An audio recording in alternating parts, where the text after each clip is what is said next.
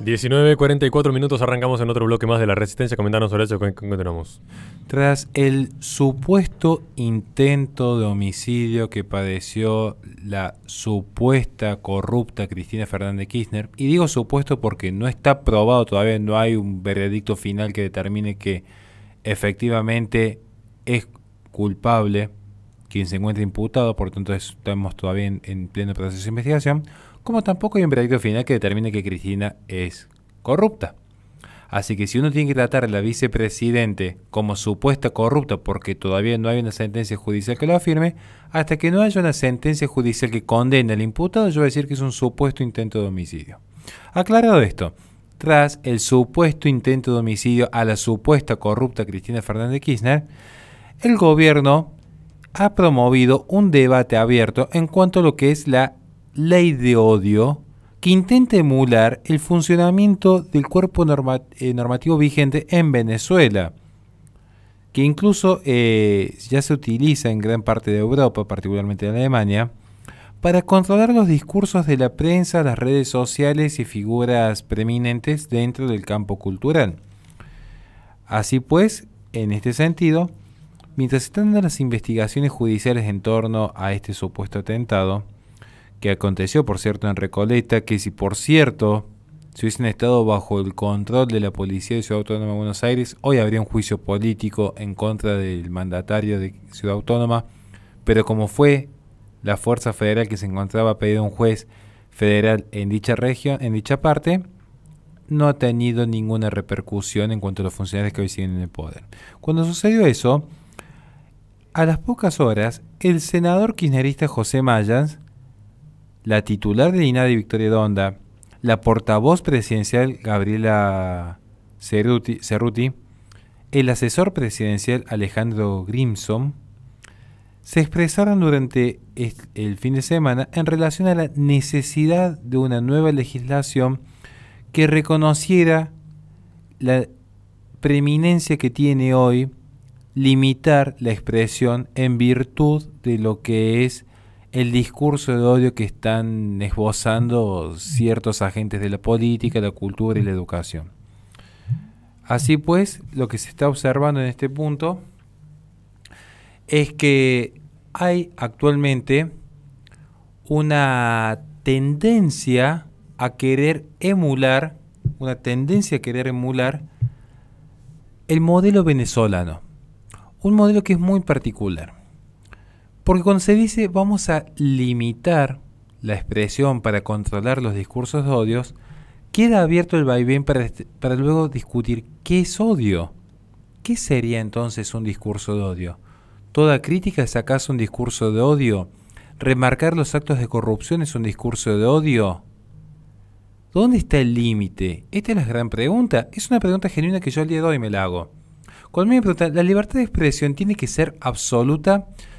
Yo antes decía sí, plenamente absoluta, luego fui madurando y me di cuenta de que hay cuestiones que quizás no sean lo más apto, lo más sano para una sociedad que quiere crecer y formarse de manera sana. Calumniar no creo que sea el camino. Imputar falsamente un delito a alguien no creo que sea el camino. Blasfemar claramente que iría en contra hasta de mi propio credo. Hay gente que se autopercibe cristiana y que considera que la blasfemia y la herejía tienen que ser igualmente ponderados en la libertad de expresión, y, pero hay una contradicción con el magisterio. Pero bueno, son cuestiones a discutir.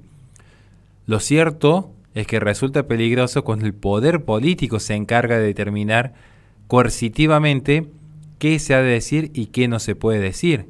Más cuando se considera discurso de odio la simple crítica a el gobierno de turno. En este punto me llama muchísimo la atención porque ¿quiénes van a vociferar luego la defensa a la libre expresión de manera restricta? ¿Quiénes se van a posicionar a favor de la libertad de expresión? Claramente que la socialdemocracia no va a acompañar este proyecto de defender la libertad de expresión.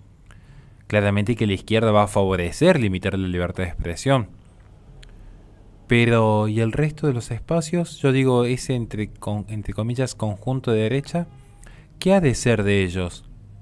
¿Qué ha de ser de, por ejemplo, diputados que hasta hace poco decían al delincuente vale cuando apuntan a la principal delincuente de este país con el arrodillado diciendo no, aquí hay que repudiar todo acto de violencia?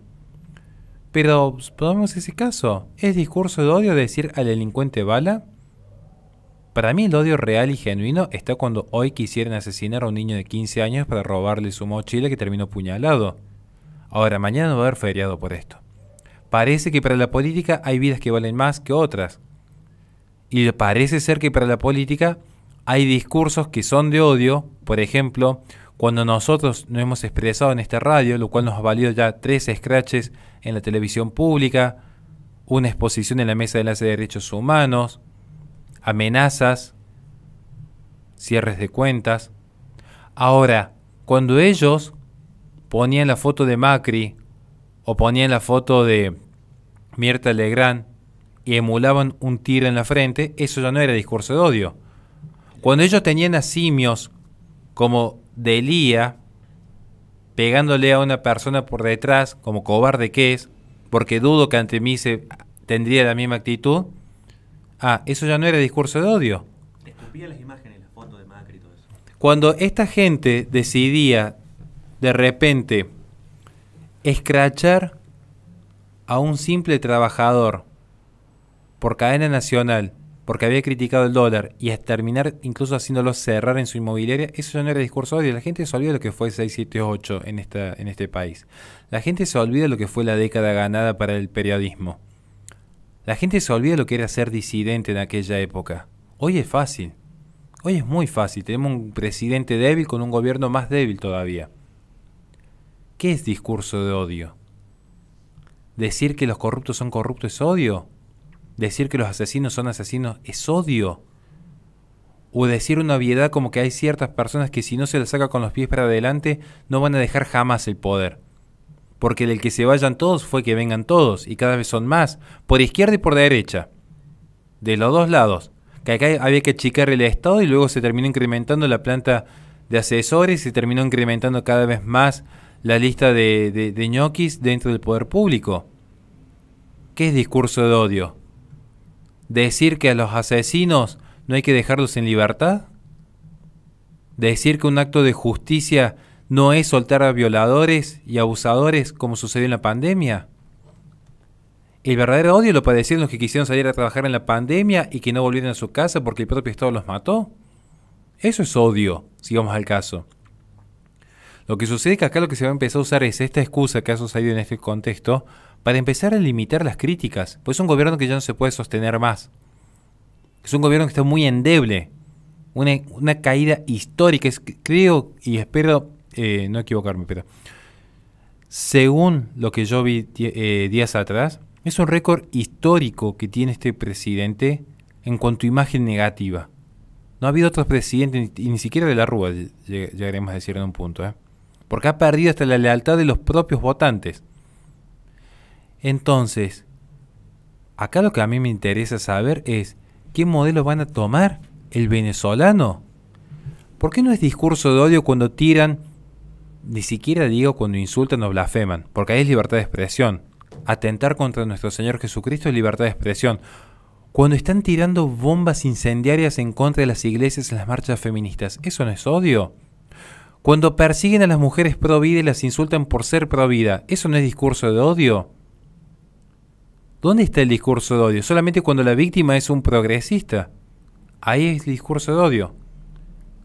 Cuando están amenazando e intentan aniquilar a gente común y corriente como uno en la vía pública. Ahí no, no, hay, no hay discurso de odios.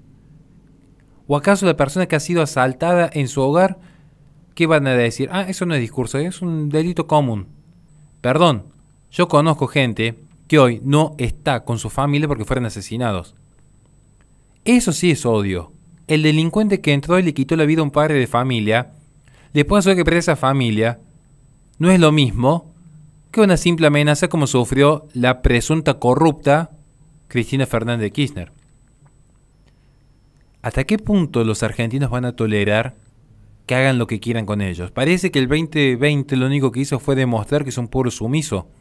Demasiado sumiso, porque yo no me olvido que en ese momento, en esas primeras semanas, éramos muy pocos los que salíamos a la calle todos los días, a riesgo de que nos pase cualquier cosa. Es más, hoy muchos que juegan a ser de derecha, hoy juegan a ser de derecha algunos, lo que hicieron fue contratar gente inoperante para vivir del Estado, y esa misma gente en esa época le estaban queriendo hacer juicio político al ministro de Salud por no haber puesto mayores restricciones antes. Ahora juegan a ser defensores de la libertad de la mano de una persona tan ignorante que llegó al poder gracias al financiamiento del narcotráfico. Y todos juegan a decir, nosotros defendemos la libertad. Gente, ustedes fueron cómplices también. Todos. Los que estuvieron con el kirchnerismo y los que creyeron que la oposición al kirchnerismo en todos sus colores iban a hacer un cambio. En todos sus colores. Y yo no me olvido que muchos que hoy están en el poder en su momento pedían más restricciones. Por eso digo, ¿qué van a hacer aquí? ¿Apoyar la libertad de expresión? Perdón, libertad de expresión hay aquí, donde aquí se invitó a debatir a todos. A ella no les gustó, ahí está la libertad de expresión en pleno ejercicio. Vengan a debatir ideas. Desde el Estado no pueden promover ninguna libertad, solo pueden restringir y están buscando restringirlas en este momento. ¿A costa de qué? De no poder escrachar a un político en la calle. Ellos están matando a millones de niños por día. Y no me refiero solo con el aborto procurado. Hay niños que se están muriendo de hambre por las políticas que lleva adelante este país. Eso sí es odio. Es una clase política que odia a los pobres, los está matando. Todos los días se muere la gente en este país. Ahora tocan a alguien de la élite y de repente el país se paraliza. Eso es odio. Demostrar que parece ser que la vida de Cristina Fernández vale más que la de cualquier otro argentino. ¿Desde cuándo? ¿Desde cuándo la vida de una persona presuntamente corrupta vale más que la de un trabajador honesto? ¿Desde cuándo? ¿Quién les hizo creer a todos los que nos están escuchando que la vida de Cristina Fernández Kirchner, que quiera ser o no, hoy sigue millonaria e impune, vale más que todos los que fueran asesinados solamente en el último año a causa de la inseguridad? ¿O qué? ¿Están diciendo que si sos político tu vida vale más que el resto? ¿En serio hay gente que cree en esto? Cuidado con el discurso de odio. Porque es la puerta de entrada a todo régimen totalitario. Es la puerta de entrada a todo régimen totalitario. Es no poder disentir. Es no poder tener un mínimo activo de pensamiento crítico. Porque a esta gente lo que le molesta es que la gente piense. Les molesta que la gente piense, porque la persona que piensa tiene discernimiento y puede reconocer lo que es bueno y lo malo. Y esta gente lo que quiere decir es que lo malo es bueno. Y para eso necesitan justamente tapar la verdad. Pero la verdad va a salir a la luz, de una manera u otra. O al menos moriremos en el intento. Al menos vamos a morir en el intento, pero vamos a morir peleando. Nos va a quedar este consuelo. Yo lo único que digo es quise hacer este simple comentario, este simple bloque, porque ahora se va a empezar a tratar la ley de odio. Ley progresista por definición. No vaya a ser que le digas homosexual al homosexual, lesbiana a la lesbiana, católico al católico, alto al alto. Que ahora decir la verdad va a ser delito de odio. Mentir ya no. Mentir es un acto de amor. Decirle al que se autopercibe mujer que es mujer, o al que se autopercibe perro que su hijo es un perro, eso es un acto de amor. Decir la verdad, lo que es el concepto de género y especie en filosofía, delito de odio. Adiós a la docencia, adiós a las prédicas. ¿O qué creen que van a pasar luego con los sermones de los pastores o, o los sacerdotes católicos? ¿Qué creen que va a suceder luego? ¿Qué creen que va a suceder luego cuando algún, si es que aparece algún día, un político medianamente honesto que se anima a decir las cosas como son? ¿Qué creen que va a pasar? ¿Qué creen que va a pasar cuando un padre de familia le quiera decir a sus hijos cómo educarse en, moral? Todo va a ser delito de odio. Y ni hablar si alguien se anima a expresarse en redes sociales, en un programa radial o televisivo. Ni hablar. O sea, perseguidos. Este, este es la antesala Cuba. Y yo sé que parece eh, esto un poco dramático. Gente, no nos olvidemos lo que pasó en el 2020. ¿Qué sucedía con aquellos canales de YouTube que nos animamos en su momento a cuestionar simplemente el sistema tiránico que se estaba viviendo en ese contexto? Lo más leve que sufrimos fueron sanciones económicas. perder nuestros ingresos económicos. Pero bueno, fue el precio que pagamos por decir la verdad. Hablamos de noticias de protestas a nivel internacional, solamente. Decir la verdad cuesta, y cuesta mucho. Y ahora va a costar más gracias a este gobierno. Nada más, caballeros, y muchísimas gracias. Le recordamos a la gente que este programa se transmite por twitch.tv barra resistencia, posteriormente sobre el canal de YouTube de la Resistencia Radio, donde en la descripción de los videos tienen nuestras redes sociales para que se comuniquen con nosotros en caso de que quieran colaborar con este espacio. Vamos un corte y enseguida volvemos con más resistencia.